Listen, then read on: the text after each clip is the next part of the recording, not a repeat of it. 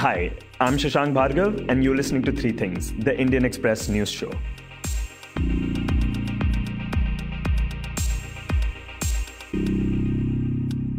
In today's episode, we will talk about the happiness curriculum classes started by the Delhi government, which the US First Lady Melania Trump is scheduled to visit. We will also talk about United States becoming India's top trading partner. But first, we talk about the sedition law. On Thursday, a protest against the Citizenship Amendment Act had taken place at the Freedom Park in Bangalore. The protest had been attended by AIMIM chief and Hyderabad MP Asaduddin Owaisi. During the protest, something unexpected happened. A 19 year old student of a South Bangalore college took to stage and raised slogans saying Pakistan Zindabad. Pakistan Zindabad! Pakistan Zindabad! Pakistan Zindabad! Almost immediately, the organizers tried to take the mic away from her, but she continued.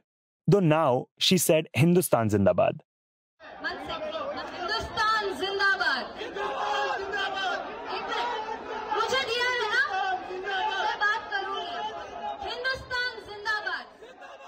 Some people did chant along to the Hindustan Zindabad, but then the microphone was taken away from her. There was a commotion, but she still continued to speak.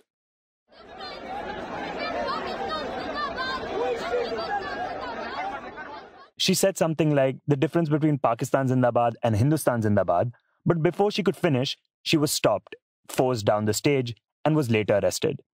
This was Amulya Leona, a student activist who had been taking part in several other anti CA protests across the state. Soon after the incident, Asaduddin Owaisi condemned her statement and said that neither him nor his party have any connection with this. वाहियात नारे सुने मैं शाम में तेज चल आकर उनको रोका मैं मैं इसको कंडेम करता हूँ और ये लोग पागल हैं इनको देश से कोई मोहब्बत है नहीं इनको करना है जाकर और जगह करें यहाँ क्यों When Indian Express got in touch with a friend of hers, the person pointed to her Facebook post from February 16th, where Amulya said Zindabad for about seven Asian countries, including India and Pakistan, and wrote, and I quote, I do not become a person from another country by merely saying Zindabad about that country. As per law, I'm an Indian citizen. It is my duty to respect my country and work for its citizens. In fact, according to the report by our Karnataka correspondent Johnson T.A., Amulya had also written in response to West Bengal chief Dilip Ghosh back in 2016 when he had said that those shouting slogans like Pakistan Zindabad would be beheaded. তাদের উপর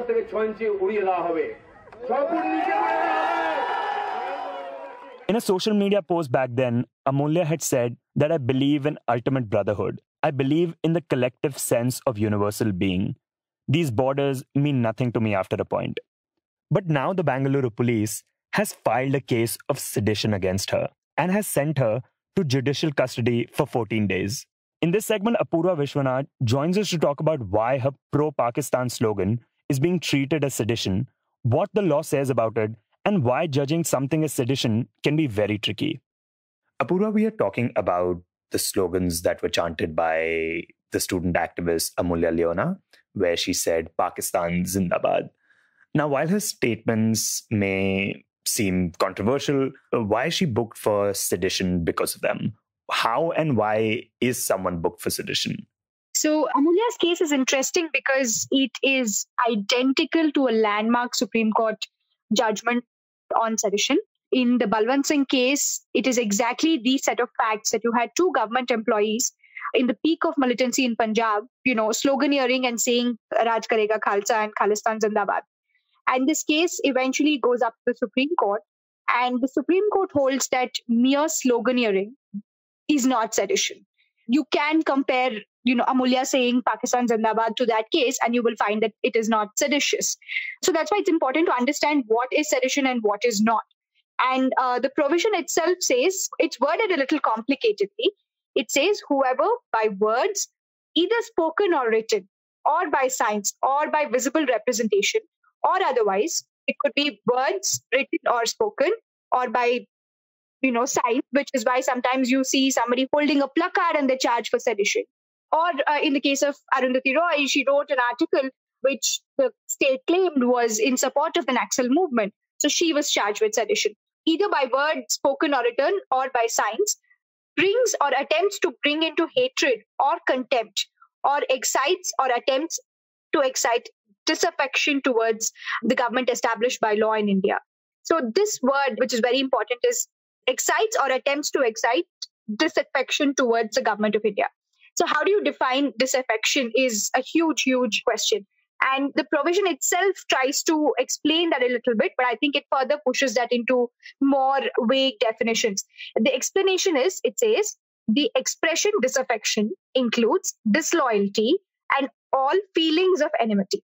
I mean, if you understand this is a thought crime, you're saying includes disloyalty or all feelings of enmity. So it is eventually left for the stakeholders, which is the state in this case, and also sometimes the judiciary, to really determine what is disaffection, whether that is disloyalty or feelings of enmity towards the state.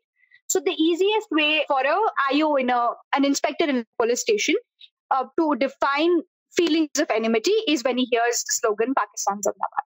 So that's how you would have a case like Amulya's become a case of 124A of the IPC. So when we're talking about, you know, feelings of enmity and disloyalty, how close does it get to say, you know, when somebody wants to express criticism of somebody of the government in power and wants to express any kind of dissent? Two things here. And again, the provision itself says that the provision itself has two more explanations where it clearly says comments expressing disapprobation of the administrative or other action of the government without exciting or attempting to excite hatred, contempt, disaffection do not constitute an offense under this section.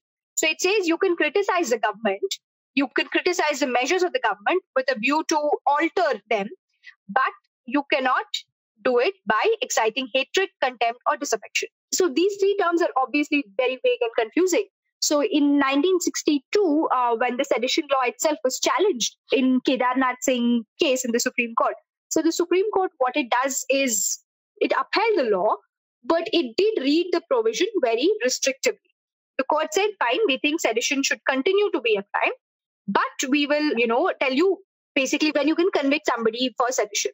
So in this case, on the face of it, at least it feels like disaffection, hatred, and contempt are really subjective. And you really don't know how to fit these things because you do have a fundamental right of freedom and expression. So if you have to curb that, if you have to curb free speech, there is only one way constitutionally. And that is if that speech falls under any of the categories that is listed in Article 19, Clause 2, which is a very exhaustive list. So the court finds one item in that list, which is public disorder. The court says only when, in case your speech or your you know written word can incite people to create public disorder, that's when it's sedition. So it doesn't have to cause public disorder. One just has to perceive that it may cause public disorder. Yes. Whether it immediately causes or not is a different issue. If the state perceives that it could cause public disorder and the state brings some evidence to that fact, like for example, you could argue that in the CAA protest, which is what the state is, you know, doing in so many cases, that these protesters saying this will lead to public disorder. Although the standard of public disorder is something is public disorder blocking a road? Yes it is sometimes. Is public disorder bringing down the government could be. Is public disorder, you know, a mob unleashed on the city? Could be. So when it is so vague, speech that the state says is causing public disorder, it sits very uneasily. And that's what makes it so easy for the state to invoke this provision against anybody at will. You know, in the recent past, we've seen a number of sedition cases in the cases of, you know, protests against the Anti Citizenship Amendment Act. We have seen, you know, the case in Jharkhand where 10,000 people were charged with sedition for, you know, a case where they had basically engraved a part of the Constitution on the stone. And I was wondering, you know, in all these cases, how much does interpretation of this law, which can be subjective, lies with, you know, the police and the lower courts sort of having their own interpretation of this. So interestingly, to understand this, let's just look at one piece of statistic, which is basically that the number of sedition cases filed from 2015 to 2019, which is four years, right? 91 This is the uh, latest CRB data. And of the 191 cases, only four ended up in convictions. Just four. So in four years, you had four cases which resulted in conviction. So trial was completed in about 43 cases, but uh, 2018 saw a conviction rate about 5.4%. 2016 it was about 16.7% and in 2017 it was about 33% so if you look at why there isn't a conviction you will see that either the charges against the accused are being dropped or there have been acquittals which means there is some sort of gap between what the state perceives to be sedition and what the courts eventually hold.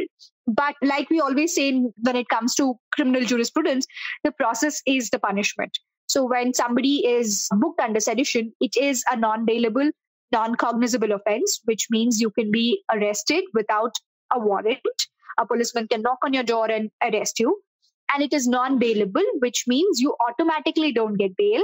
A judge has to grant you bail, a district judge or the high court has to grant you bail specifically which when the state opposes becomes very difficult. So there is some dissonance in what the state perceives something to be sedition and what the uh, courts eventually hold. Which is why the role of a judicial magistrate becomes very important in ascertaining whether something is seditious or not.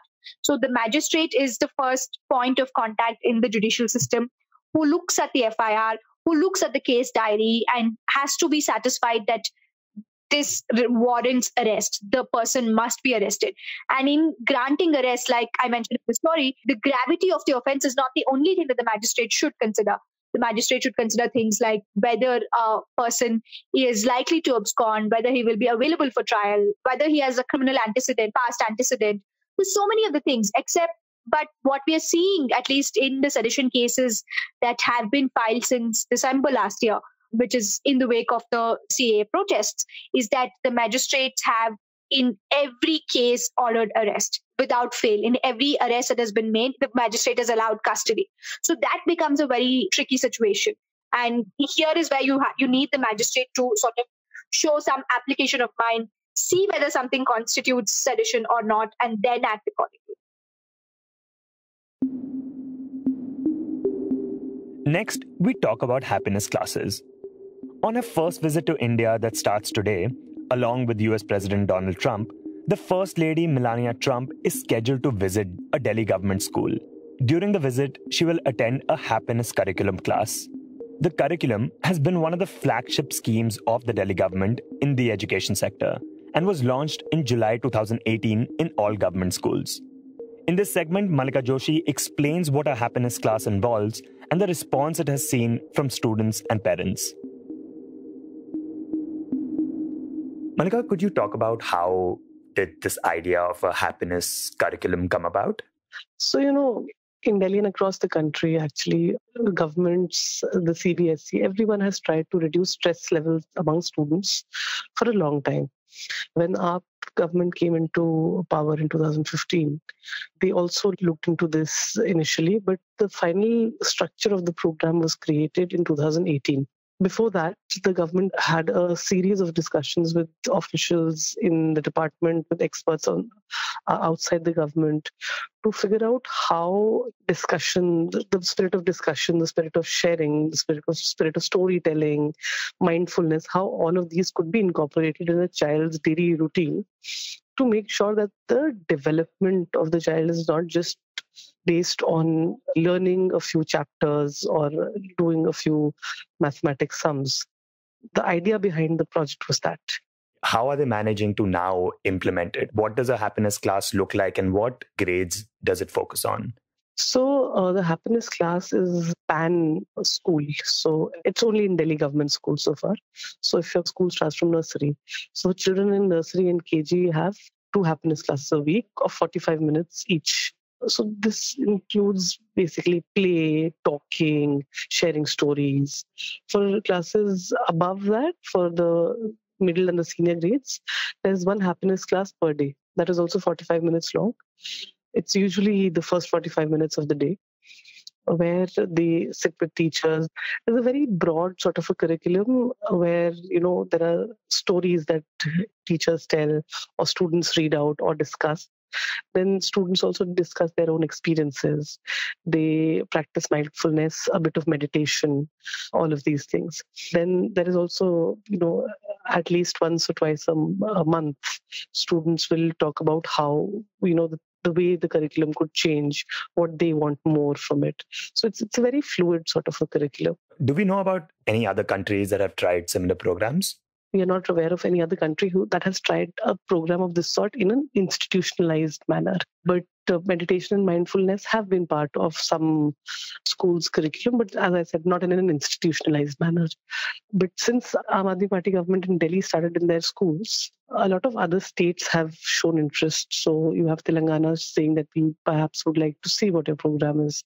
A lot of people from other countries have actually shown interest. So there's a school in uh, New York which has similar classes after they saw it on government school teachers Twitter.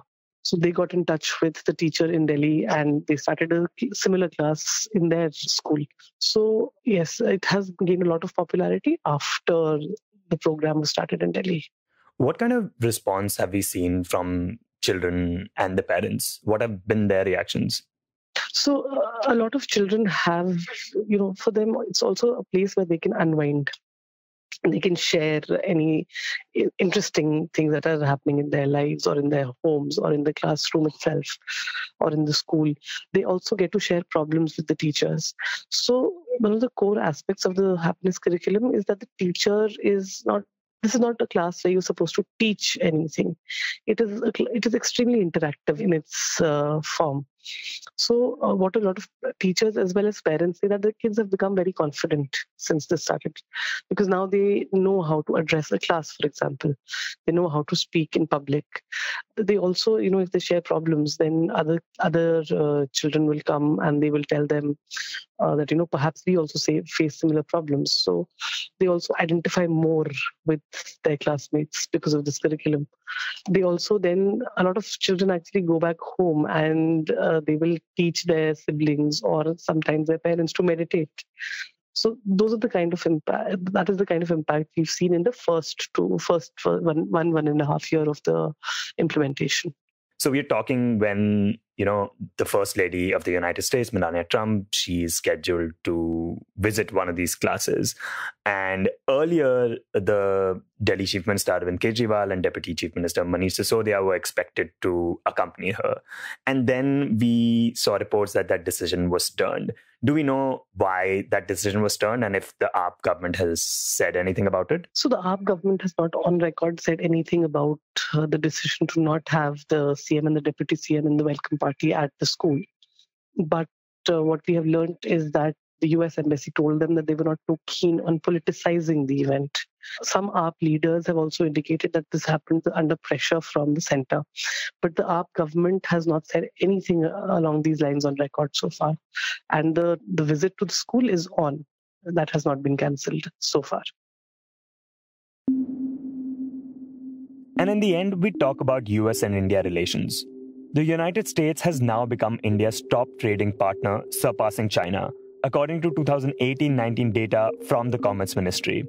The bilateral trade between US and India amounted to 87.95 billion US dollars. Trade experts say a free trade agreement between the two nations would take the economic ties to a whole new level. It is worth noting that America is one of the few countries with which India has a trade surplus. While dealing with the US, India had a surplus of 16.85 billion in the year 2018 to 19 alone. It is in the backdrop of a global economic slowdown that President Trump commences his visit to India today. It will be his first visit to India as the US president. Although a trade deal is not on the table, Trump has emphasized on talking trade during his visit. Well, we can have a trade deal with India, but I'm really saving the big deal for later on. We're doing a very big trade deal with India. We'll have it. I don't know if it'll be done before the election, but we'll have a very big deal with India. Uh, we're not treated very well by India, but I happen to like Prime Minister Modi a lot. Today, President Trump and the First Lady are scheduled to arrive in Ahmedabad in the morning and visit the Sabarmati Gandhi Ashram, after which Trump, along with Prime Minister Modi, will address the Namaste Trump event. Trump and Melania will then leave for Agra and visit the Taj Mahal. following which they will proceed to New Delhi. Tomorrow, Trump will meet PM Modi in the capital, sign various agreements, memorandum of understandings, and give out a press statement.